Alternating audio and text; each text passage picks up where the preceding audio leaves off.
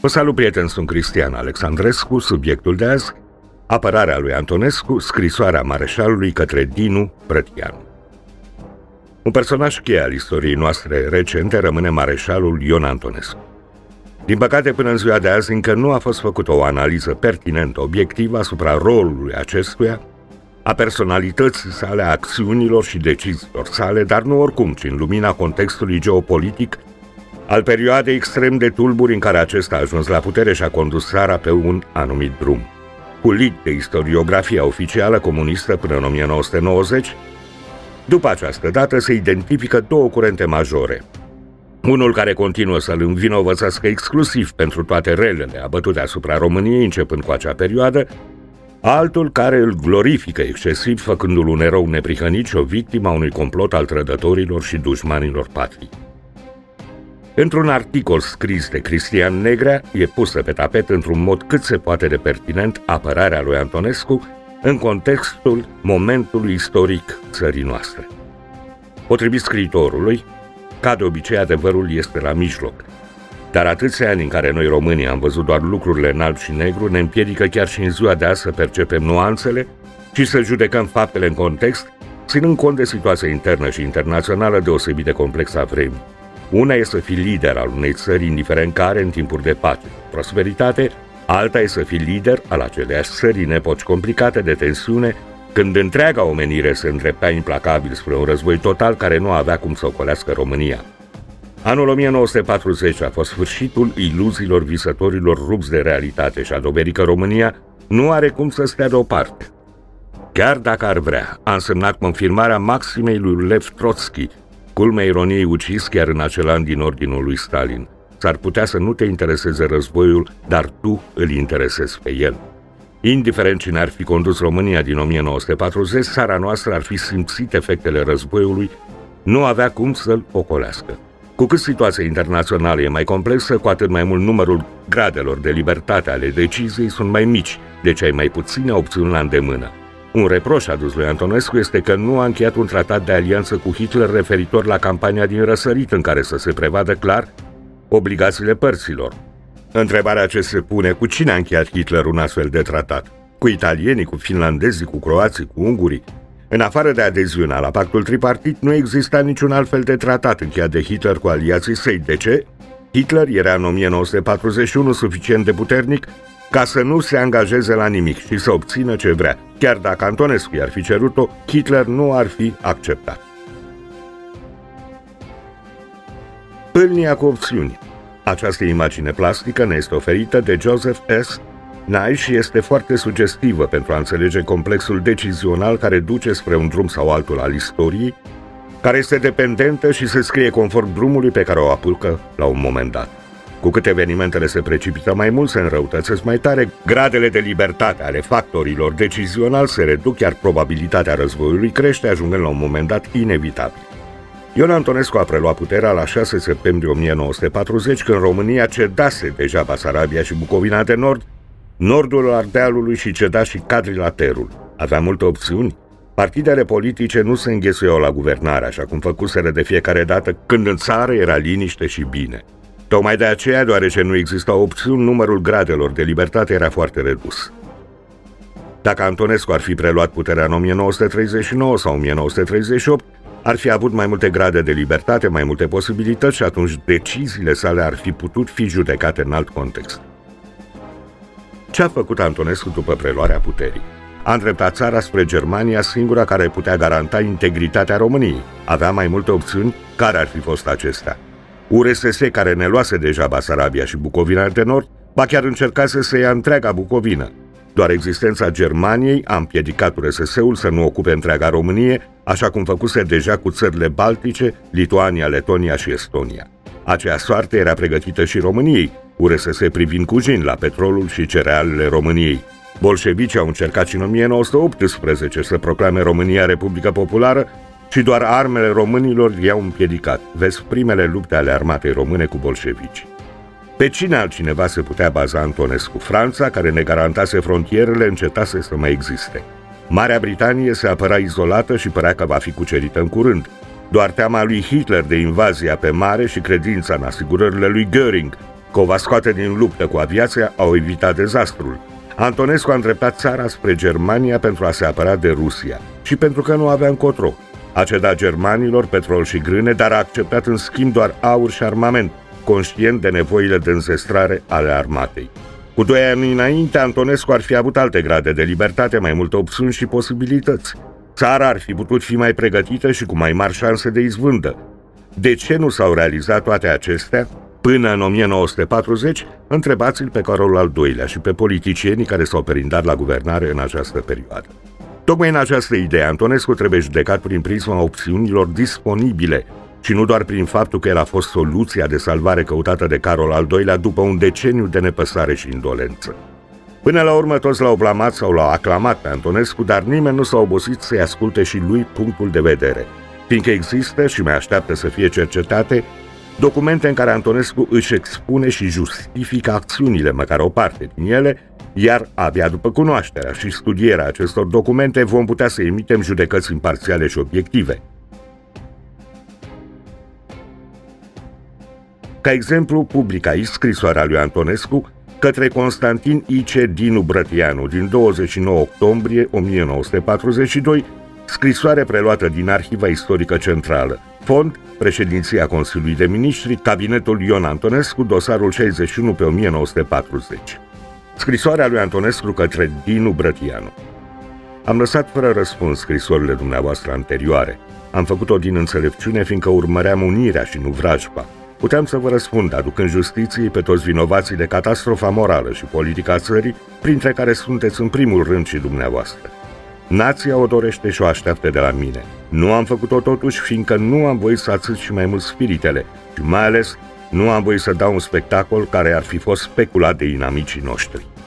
Am lăsat ziua acestor răfuiel mai târziu. Abuzați însă de răbdarea, de tăcerea și de înțelepciunea mea și rând pe rând la scurte intervale de timp îmi trimiteți când dumneavoastră, când domnul Maniu, avertismente, sfaturi și acuzațiuni, în virtutea cărui drept. Ce reprezentați în această țară, dumneavoastră, toți foștii oameni politici, în afară de interesele dumneavoastră egoiste și un trecut politic total compromis și dureros? Uitați, domnule Brătianu, că eu sunt omul muncii mele și martirul greșelilor acelora care au primit în 1918 România mare și-au dus-o după 22 de ani de conducere în prăpastia de unde am luat-o eu în 1940, pe când dumneavoastră sunteți din profitorii și dărâmătorii unei moșteniri mari. În mai puțin de un sfert de secol, fiecare în parte și toți la un loc, ați prăbușit lupta, sacrificiile și suferințele duse și îndurate 20 de secole de poporul nostru pentru a face unitatea sa politică. Orice apărare încercați și orice diversiune faceți dumneavoastră, conducătorii politici de ieri purtați pe umeri această răspundere. Dumneavoastră liberalii mai mult ca alții, fiindcă și din opoziție și de la guvern, în acțiunea dumneavoastră de dirijare și de îndrumare a vieții noastre politice, economice, morale și spirituale, exercitată direct și indirect de pe băncile ministeriale, din birourile băncilor și din culisele politice a dus țara la catastrofa din 1940. Stați față în față cu conștiința dumneavoastră. Depănați cu corectitudine pas cu pas atât actele dumneavoastră, cât și pe ale acelora cu care rând pe rând v-ați întovărășit și v-ați acuzat în fața nației dezolate, scandalizate și înmărmurite. Răsfoiți toată colecția ziarelor din ultimii 40 de ani, începând cu Universul și terminând cu viitorul și cu ziarele jidovești, pe care se sprijinea naționalistul domn Maniu, și vă reamintiți cine sunteți dumneavoastră și dumnealui. Câte păcate ați făcut, cum v-ați calificat singur și cum v-a calificat nația, câte răspunsuri aveți. Pentru a vă ușura munca, vă reamintesc, domnule Brătianu, că împreună cu domnul Maniu v-ați acuzat public și zilnic în presă, în întruniri în Parlament, de incapacitate, tâlhării, falsificări și furturi de urne în București pentru obținerea puterii, demisii în bătăi și omoruri, călcarea legilor și Constituției, lor de comisioane la toate furniturile statului, traficările de influență practicate de partizanii, deputații, miniștri și președinții corpurilor dumneavoastră legiuitoare, scandalurile cu contingentările, cu greul britanic, modul cum ați făcut reforma agrară și cum ați profitat de ea, risipa avutului public, concesionările oneroase ale bunurilor statului, demagogie, incorectitudine civică provocată de faptul că atunci când erați în opoziție, dirijați ocult statul în profitul intereselor dumneavoastră și ale jidanilor din ale căror consilii de administrație mari și mici făceați parte, iar de pe fotorile ministeriale încurajați și favorizați, acopereați și mușamalizați afacerile lor și ale dumneavoastră în detrimentul statului. Adăugați la acest bogat și concludent stat de serviciu al partizanilor și al adversarilor dumneavoastră de ieri, cu care ca totdeauna când vă găsiți în opoziție, sunteți azi prieteni. Cazurile pe care nația le ține numai în dormitoare ale domnilor Tătărescu, Bârsan, Boila, Aristide Blanc și afacerea Skoda, ruinarea poporului prin dobânzile oneroase care au prăbușit economiile, avutul și munca tuturor de la țăran la marele proprietar, de la micul până la marele negustor român, ravagile făcute de conversiune și de concesionarea bunurilor statului pe care am început să le răscumpăr eu, împrumuturile externe oneroase și umilitoare, introducerea controlului străin la Banca Națională și căile ferate, comisioanele scandaloase, etc., etc. Și veți avea, domnule Brătianu, imaginea unui trecut tragic pe care l-am plătit atât de scump și pe care nația întreagă o are permanent în fața ochilor săi. Iar dacă am greșit, greșesc sau voi greși, nu pot fi acuzat, domnule Brătianu, de niciunul dintre dumneavoastră. Fiți încredințați, sunteți înfierați și puși chiar de generația actuală pe banca acuzaților. Dacă va fi să fiu și eu pe această bancă, pentru că fac tot ceea ce un om putea să facă, nu numai pentru a salva un neam de la dezunire și de la prăbușire, dar și pentru a-l întregi și a asigura o viață nouă, în onoare și în muncă, atunci în niciun caz nu veți fi dumneavoastră acuzatorii și în niciun caz nu voi fi pus alături de dumneavoastră și acuzat de aceleași greșeli ca dumneavoastră. Fac această afirmație nu pentru că mă simt vinovat cu ceva față de țară, dar pentru că știu ce au suferit din antichitate și până azi, de la Socrate și Demostene, până la Clemenceau, atâția nenumărați mici și mari oameni care și-au servit poporul cu credință, cu devotament și cu folos. Și mai ales pentru că nu au uitat că în Iași, în tragica primăvară din 1918, și chiar la București după unire, s-a cerut trimiterea în judecată și condamnarea fratelui dumneavoastră atât pentru că făcuse războiul, cât și pentru dezmățul creat de nepriceperea dumneavoastră a tuturor, chiar de către aceia care ceruseră intrarea în luptă, care l acuzaseră în 1914-1915 de lunga și dezmățata perioadă de neutralitate, care au aplaudat cu frenezie intrarea în război și care, ca o culme a cinismului lor, erau ei înșiși vinovați de modul cum fusese administrată și ruinată țara. Eu și mulți alții încă nu am uitat ridicolul acestei îndrăzneli pe care istoria l-a înregistrat. Oricum ar fi însă, eu nu voi putea fi acuzat de dumneavoastră și nici pus pe aceeași bancă cu dumneavoastră, pentru că nu sunt nici profitorul meritelor predecesorilor mei, ci nici șeful unei bande de corbi odioși care au ajuns la conducere prin minciună, promisiuni, fur de urne sau prin sprijin ocult masonic și iudaic, ci sunt omul adus de un trecut onest și de voința unanimă a unei nații care pentru a se salva a făcut apel la mine, iar nu la dumneavoastră sau la domnul Maniu, și nici la domnii care stau în jurul dumneavoastră și cu care ați făcut și faceți sistem. Niciodată pentru a fi salvată națiunea, armata și corpurile constituite nu au indicat numele dumneavoastră sau al domnului Maniu în ultimii ani ai tragicei guvernări care s-a sfârșit la 6 septembrie 1940. Dumneavoastră v-ați trecurat și v-ați alăturat acestei mulțimi cu discreție impusă de instinctul răspunderii pe care o aveți și a dorinței legitime de a vă salva și nu ați făcut niciun gest pentru a vă valorifica drepturile la conducere când această mulțime spulberă un regim care era de fapt al dumneavoastră și când aclama un om nou care eram eu. Când am intrat în război cu prudență caracteristică a politicienilor valoroși, nu v-ați manifestat nici pentru, nici contra. După ce am reluat Basarabia și Bucovina, v-ați grăbit să-mi cereți și dumneavoastră și domnul Maniu să mă opresc la Nistru. V-am arătat considerațiunile militare, politice, economice și morale pentru care nu puteam să o fac și v-am invitat pentru a treia oară să luați conducerea, răspunderea și riscurile unei asemenea acțiuni. Bineînțeles, ați refuzat. După omorurile de la Jilava și imediat după rebeliune, mi-ați trimis memorii prin care mi-a arătat situația și îmi dădeați noi sfaturi. V-am oferit să luați conducerea și să faceți cum credeți că e mai bine și unul și altul v-a scuturat.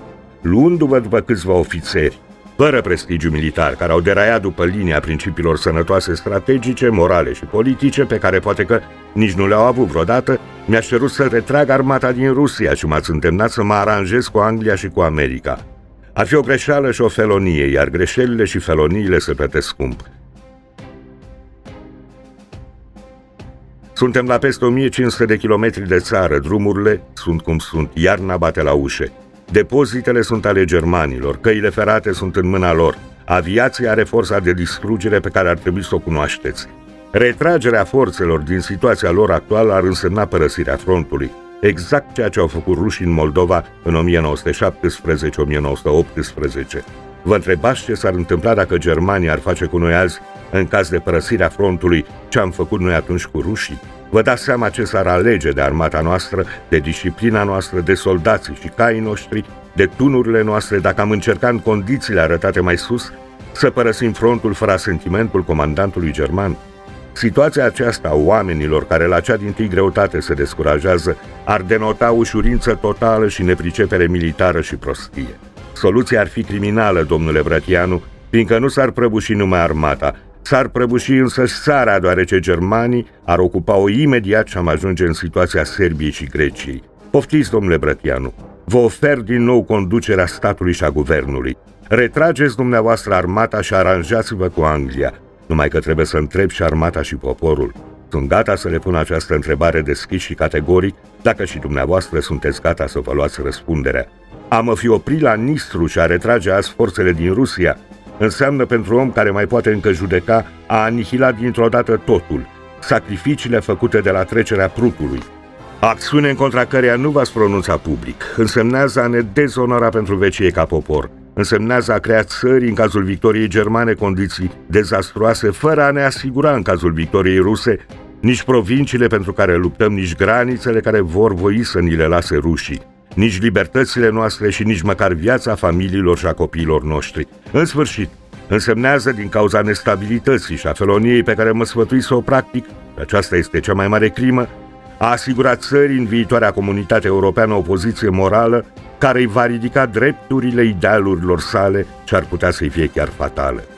Gestul pe care cere să-l fac domnule Brătianu va face din neamul românesc o victimă a tuturor, fiindcă, concomitent cu dezorganizarea, prăbușirea și distrugerea armatei, ar începe instaurarea anarhiei în țară. Comuniștii, legionarii, jandarmi, ungurii, sașii ar începe agitațiile, lupta, distrugerea ordinei, a liniștei pentru a profita de ocazie, pentru a da ultima lovitură de picior unui neam care cu adevărat ar merita calificativul de netrebnic. Ungurii ar ocupa imediat restul Ardealului. Iată, domnule Bratianu, la ce ar da naștere gestul pe care mi-l cere să-l fac. Ar fi gestul nefericit al unui soldat lipsit de onoare și al unui om de stat nu numai inconștient, dar nebun. Conducătorul nefericit al Franței și mai nefericite de azi a declarat într-o recentă chemare la realitate a unui popor care a căzut și el victimă josnică a unei guvernări venale, iudeo-democratice și masonice, care convingerea că dacă Germania ar fi înfrântă, sovietele ar impune mâine legea în Europa și s-ar termina astfel cu independența și patriotismul națiunilor. Am avut și am această convingere. Rămân la această convingere, fiindcă noi, mai curând ca alții, mai total ca alții, vom fi zdrobiți, pentru că suntem punte între slavi și zăgazul care le stă de secole în calea expansiunilor către vestul și sud-vestul Europei, pentru că avem bogățiile pe care le avem și pentru că vom fi trambulina salturilor lor viitoare. Trăgând învățăminte din trecut, cunoscând tendințele slave, plecând de la considerațiunile făcute mai sus și îndrumat de instinctul de conservare și de logica bunului simț, nu puteam, domnule Brătianu, ca un conducător responsabil să mă oprez la Nistru și nici nu pot să retrag armata din Rusia. Ar fi o prostie din partea mea. E cu neputință să o facă cineva și ar fi... e cu neputință să o facă cineva și ar fi o greșeală ireparabilă pe care nu eu și dumneavoastră, ci neamul ar plăti-o scump. Mareșalul Petain, într-una din valoroasele sale cuvântări, a dat speculatorilor situațiunilor grele lecția care li se cuvenea și care a fost aplaudată de toți oamenii cu conștiință clară și nebătată. Răspunzând unor critici ale acțiunii sale, el a spus – când Franța este în nenorocire, nu mai e loc pentru minciuni și himere. Nici la noi, domnule Brătianu, nu mai e loc pentru minciuni și himere. Și mai ales nu mai putem să ne plătim luxul de a face și prostii. V-am răspuns, domnule Bratianu, punct cu punct, nu numai la scrisoarea dumneavoastră de la 24 septembrie, dar și la cele anterioare. E răspunsul unui soldat. care nu are nimic de ascuns și care e conștient de greutățile și pericolele ceasului de față, precum și de îndatoririle și de răspunderile lui. V-am răspuns cum v-am răspuns, fiindcă nu ați înțeles nici ținuta, ci nici înțelegerea cu care am voit să trec atât peste greșelile trecutului, cât și peste mari vinovați de ele, ca oamenii cei mai lipsiți de păcat, marile și numeroasele greșeli politice care s-au comis. Sub dumneavoastră, continuând a considera comunitatea românească ca pe o turmă de sclavi pe care împreună cu celelalte organizații politice, cu firmă naționalistă însă în acord cu oculta iudeo-masonică, cu care numai pe față erați în luptă, ați exploatat-o, ați mințit-o, ați demoralizat-o, ați exasperat-o și în cele din urmă, din neputință, ați dus-o mână în mână cu Trinitatea Tătărescu, Urdăreanu, Lupeasca la catastrofa din 1940 și la rebeliunea din 1941, îndrăzniți azi, când s-a pus regulă în țară și viața nimănui nu mai e în pericol, să ridicați capul de după saltarele consiliilor de administrație, ale industriilor și ale multiplelor afaceri, pentru a mă acuza. Ei bine, domnule Brătianu, când cineva a fost șeful unui partid care de la mare la mic, de la primăria din sat până la cabinetul ministrilor, are răspunderea destrăbălării administrative, dezmățul moral, a iudeo-masonizării țării, a venalității, a compromiterii viitorului neamului și a catastrofei granițelor, nu mai are calitatea să vorbească și în numele comunității românești să dea sfaturi de conducere altora și mai ales să-i acuze că lucrurile nu merg cum trebuie. Mareșalul Ion Antonescu a fost executat la 1 iunie 1946, Constantinice Brătianu a murit la închisoarea Sighet la 6 mai 1950, în vârstă de 84 de ani, iar Iuliu Maniu tot la Sighet, la 5 februarie 1953, cu o lună înainte de a muri Stalin.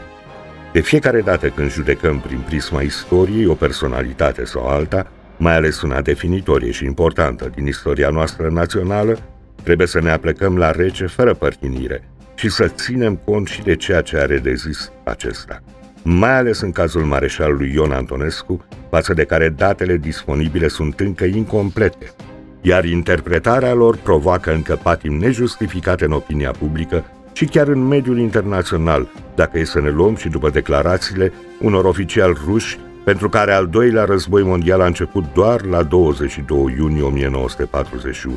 Încheie Cristian Negrea. Prieteni, mulțumindu-vă pentru atenția pe care sper că ne-o acordați, Cristian Alexandrescu vă spune ca de obicei pe curând.